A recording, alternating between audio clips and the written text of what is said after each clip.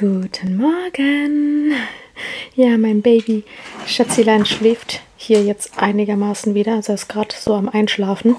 Ähm, ja, sind ziemlich früh aufgestanden. Mein Freund ist gerade zur Arbeit gegangen. Der Kleine wurde jetzt mal gewickelt, halb gebadet am Wickeltisch, frisch angezogen, hat jetzt gerade die Flasche bekommen und ein bisschen entertaining. Und jetzt ist er wieder am Einschlafen. Wir haben mittlerweile fast ähm, 20 vor 9, es ist jetzt 25 vor 9.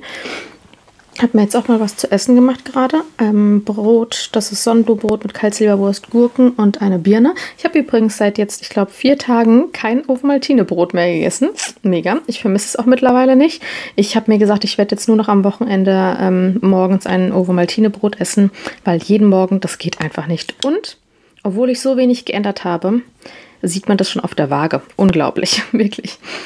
Ähm, ja, ich habe jetzt hier meinen Laptop angemacht, weil ich werde jetzt beim Frühstück eine Folge Alles, was zählt schauen. Danach wartet viel Papierkram noch auf mich. Ist noch, ähm, ja, heute viel, viel, viel zu tun.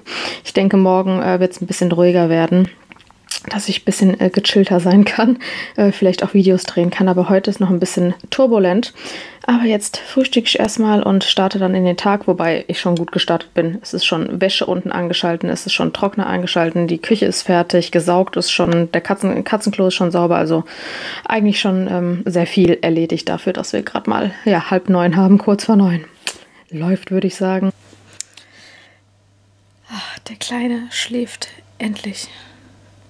Der war jetzt so viele Stunden wach. Er wollte und wollte nicht schlafen.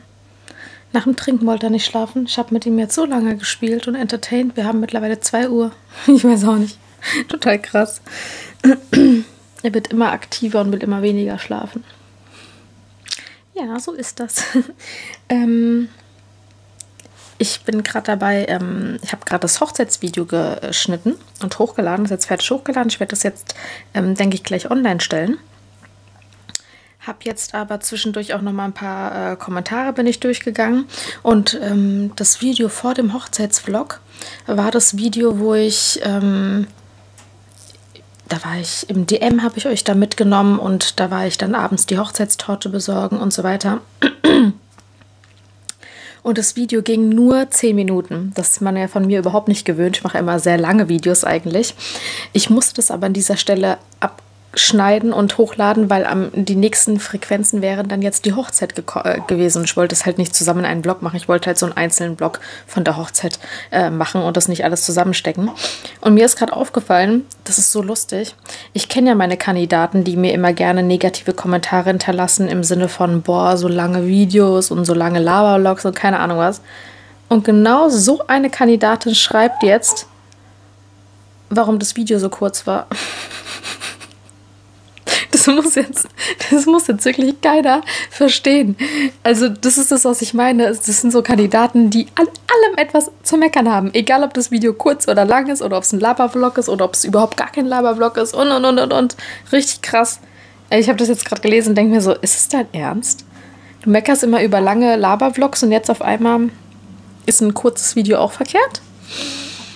in dem ich auch noch im DM äh, mitgenommen habe und gezeigt habe und so weiter, ist auch nicht in Ordnung. Ich also manchmal verstehe ich die, die Logik nicht wirklich. Ach, Baby, du kämpfst schon wieder, gell? Ich dachte, er wäre eingeschlafen. Ist er nicht. Er kämpft schon wieder. Er hält momentan seit so drei Tagen überhaupt nichts vom Schlafen. Schlafen ist mega langweilig und es gibt bessere Sachen anscheinend. oh Gott. Ja, in ungefähr drei Stunden müsste mein Freund auch kommen. Dann werde ich mich fertig machen und meine Wimpern auffüllen gehen. Ich freue mich. Die sind nämlich, also die sehen zwar immer noch gut aus, aber sie können trotzdem mal ein Fresh-Up ähm, gebrauchen. Und ich bin am überlegen, ob ich nach dem Wimpern auffüllen nochmal ins Solarium gehen soll, weil ich ja am Donnerstag meine Laserbehandlung habe und dann ja erstmal nicht ins Solarium gehen darf. Beziehungsweise ich glaube, ich würde dann trotzdem irgendwann mal ins Solarium gehen, aber das Ganze dann halt mit einem dicken Pflaster irgendwie abdecken oder sowas. Apropos Pflaster, ich muss unbedingt Pflaster besorgen, dass ich das dann alles habe. Genau. Ähm ja, das ist eigentlich so das Einzige, was heute passiert. Aber ich zeige euch später auf jeden Fall meine Wimpern, wenn die wieder ein Fresh-Up haben. Genau, also bis später. Ich bin seit über 20 Minuten unterwegs Und zwar bin ich bis jetzt zwei Haltestellen, zwei Straßenbahnhaltestellen gefahren. Also Rush Hour in einer Großstadt macht echt keinen Spaß. Das ist echt, oh, ich hasse es so sehr. Es ist egal, wie früh man losfährt. Wenn ich diese Strecke normalerweise jetzt, da wo ich, äh, ich fahre ja zu meiner Wimperntante, die ist insgesamt vielleicht von Haus zu Haus, abgesehen vom Parkplatz suchen, also jetzt nur wirklich von Haus zu Haus, vielleicht 10 Minuten entfernt. 10 Minuten. Ich fahre jetzt schon 20 Minuten, über 20 Minuten nur für zwei Haltestellen. Ich kriege die Krise, wirklich. Das ist einfach nicht normal. Das ist so einer der negativen Sachen, wenn man in der Großstadt wohnt. Ernsthaft, das ist eine reine Katastrophe. Man muss einfach so viel Zeit opfern, alleine von A, um von A nach B zu kommen. Das ist echt krass. So sieht es hier übrigens aus. Ist zumindest der Vorraum. Da ist zum Beispiel der Raum für die Wimpern. Da geht es noch weiter zur Massage und Co. Hier kann man Nägel machen. Ja, ich mag den Laden sehr gerne. Ähm, das sind übrigens mehrere, die das hier gemietet haben. Die Frau, wo ich die Wimpern mache, dieses Kosmetikstudio heißt Beauty for You. Frankfurt in der Nähe vom Hauptbahnhof ist das. Hey. Der Feierabendverkehr soll doch schon fertig sein. Warum fährt ihr immer noch alle, als wärt ihr besoffen? Oh Gott. so, ich bin jetzt fertig. Oh Gott, da vorne ist auch noch jede Menge Blaulicht. Was ist hier los schon wieder? Unglaublich. So, bin jetzt fertig mit meinen Wimpern. Ähm, ich habe wieder die 1 zu 1 Wimpern gemacht, also eine unechte auf eine echte Wimper drauf. Ich habe jetzt aber in drei Wochen neuen Termin. Ich mache das ja immer so in drei Wochen Abständen. Oh Gott, okay, hier ist es richtig voll. Ich höre jetzt mal kurz auf zu labern, sonst denken die sich auch, was ist mit der los? Na endlich! Wie lang kann eine Ampel denn rot sein? Gott, wir haben 20 nach 7 und es ist sowas von voll. An jeder Haltestelle stehen so viele Menschen. Krass. Wirklich wie wenn so Weihnachtsmarktsaison wäre, ja. Also so, das ist so genau so, so richtig überfüllt, extrem überfüllt. Naja, äh, was wollte ich gerade sagen? Beim nächsten Mal, ich mache ja so alle drei Wochen immer einen Termin in der Regel, weil zwei Wochen sieht alles immer super aus und nach der dritten Woche ist so langsam, wo man mal sagen könnte, okay, kann mal wieder aufgefüllt werden, aber ich könnte es auch locker vier Wochen aushalten. Also ja, aber ich mache so alle drei Wochen. Ähm, beim nächsten Mal habe ich zu ihr gerade gesagt, die soll mal eineinhalb Stunden reservieren, weil ich möchte mal zwei oder 3D-Wimpern machen. Vielleicht auch nur die Hälfte normal und dann 2D oder die Hälfte 2D und dann der Rest 3D. Ich bin mir noch nicht sicher. Ähm, ja. Genau. Ach, ich wollte jetzt mal, ähm, weswegen ich jetzt nochmal mit euch quatsche. ähm, hallo Autovlog. Ähm, und zwar habe ich jetzt im letzten, also ich habe heute das Hochzeitsvideo online gestellt. Also vorhin, genau, habe ich glaube ich schon gesagt.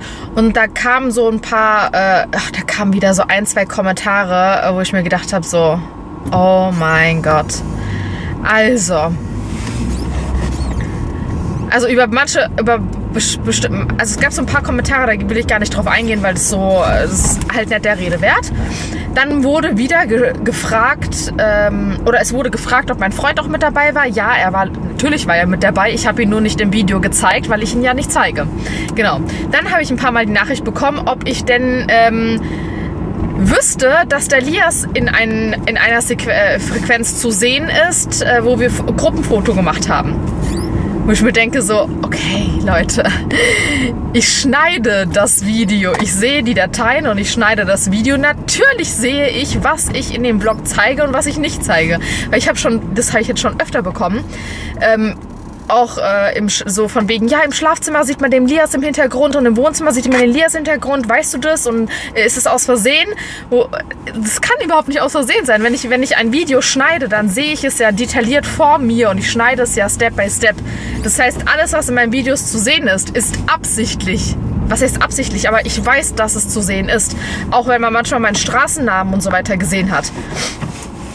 Also Leute, wenn ich schneide, dann schneide ich sehr bewusst. Ich mache das nicht irgendwie im Halbschlaf oder sowas. Deswegen macht euch keine Sorgen, wenn mal ein Straßennamen zu sehen ist oder wenn mein Freund im Hintergrund doch irgendwie leicht zu sehen ist, weil er irgendwo hinten im Schatten steht oder wenn der Lias auf irgendwelchen Fotos zu sehen ist oder auch live zu sehen ist. Das, wie gesagt, also ich mache das schon alles äh, im Bewusstsein, schneide ich meine Videos und deswegen weiß ich, was ich gezeigt habe und was nicht.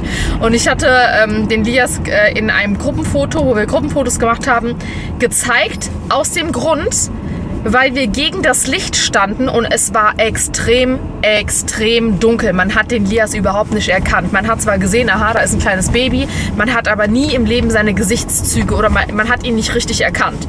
Deswegen habe ich es drin gelassen, sonst hätte ich es rausgeschnitten. Genau.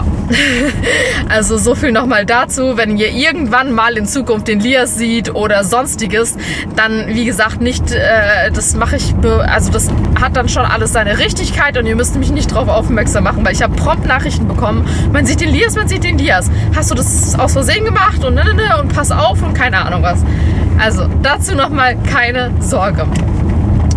Dann wurde ich, oder dann wurde ähm, in einer Frage gestellt, ich glaube, bin mir jetzt gar nicht sicher, ob ich die Frage gelöscht habe, weil sie so komisch gestellt gewesen ist. Irgendwas mit, weiß jemand, woher ähm, Amandas Freund kommt? Der ist so dunkel. Also ich habe ja schon oft gesagt und ich mache auch kein Hehl drum, dass mein Freund aus Eritrea kommt. Habe ich jetzt schon sehr, sehr, sehr, sehr oft gesagt. Ähm, und wenn jemand, wenn jemand einfach nur fragt, ja, wo ist, was ist denn dein äh, Freund für ein Landsmann oder sowas, dann ist es gar kein Thema. Aber wenn jemand sagt, dein Freund ist so dunkel, wo kommt er denn her? Dann fühl, dann hört sich das so komisch einfach an. Also die, das, da, da, sind wir wieder beim Thema, der Ton macht die Musik. Also ich sag ja jetzt auch nicht irgendwie, äh, was weiß ich, zu jemandem, dein Freund sieht zum Beispiel sehr asiatisch aus, wo kommt er denn her?